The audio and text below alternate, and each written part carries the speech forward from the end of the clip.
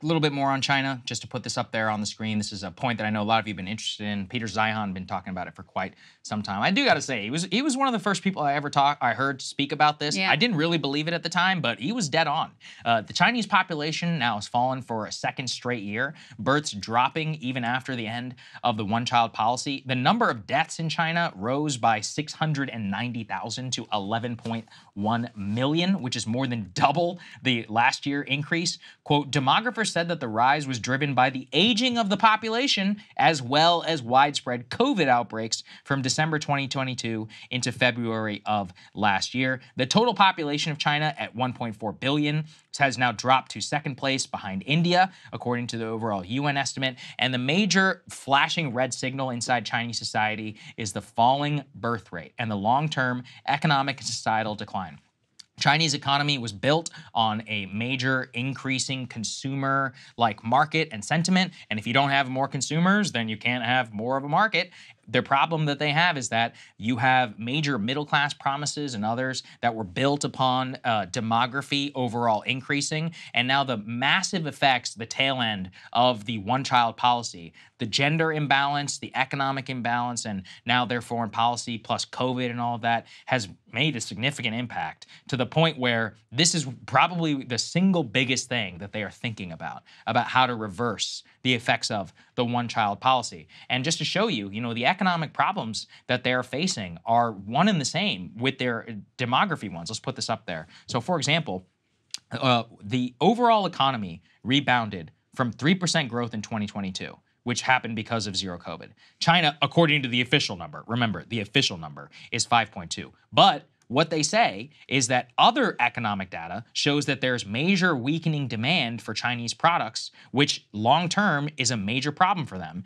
On top of that, you have to remember property and home prices in China, which we covered a little bit during the whole Evergrande thing, is a huge portion of their overall economy. Right. They are rapidly declining with major bankruptcies and corruption investigations that are happening in the property sector, making the middle class dream, the Chinese dream, so quote unquote, that most of the current generation and their parents really banked on, not nearly as attainable. Corruption is still widespread. Then you had zero COVID, which devastated a lot of the economy, actually called into question some confidence in the government. We saw a few protests and all of that there, but still incredibly rare. And really, what we saw is that Xi at every turn has chosen author- authoritarianism over capitalism, which probably good for him in the long run, but not necessarily good for the economy. And it makes it so that this, just to link back to Taiwan, which we were talking about earlier. Yeah.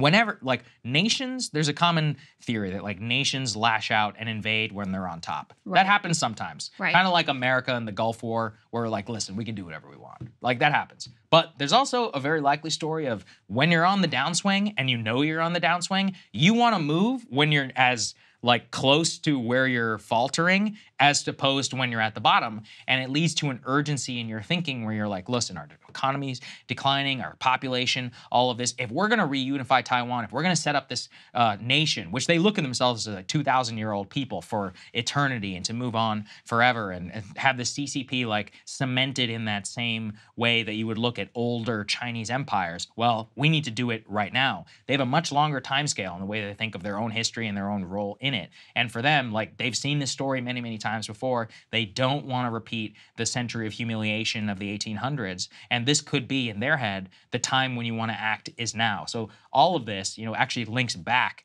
to the urgency of the international situation and kind of what they want to do to cement their own legacy as we look forward. Yeah, that's right. I mean, Yeah. no, to overly simplify things, you know, the incredible growth story of China has been built on this, you know, massive industrialization, you know, building out all this factory capacity, building out massively all of this infrastructure to the point that it, you know, became like some of the projects became Mm-hmm. sort of ridiculous. Then now you can go and look at like the number of airports in these towns that don't really need airports and things like that. like so fake villages. the, right. So that running way has sort of run out. And then the next piece was the property boom and, you know, building out all of this uh, residential real estate and that becoming like a real, you know, part of like Chinese middle class identity. And that has, there's, that has sort of run out of runway. And now we've covered all these stories about Evergrande and this property bust. And so, you know, the, the next thing would be all right, well, we're going to move into like the US consumer economy mode and uh, focus on services, focus on, you know, our own domestic economy, buying more crap, basically. And they've sort of rejected that direction. So um, I don't, I think there is a, a real awareness, both in terms of where they stand economically and in terms of where they stand from demography, that this could be very much be the peak of their, you know, potential power and potential influence. So that again raises the risk that they may see it as like, you know, they've made no secret about the fact that they want to reunify with Taiwan. That They, they, made a pledge yeah. that they will do it. That is, yeah. Yeah, I mean, that's not like you know a- uh, a secret wish. That's very much out there in the open and spoken publicly all the time. So the question is just a matter of timing.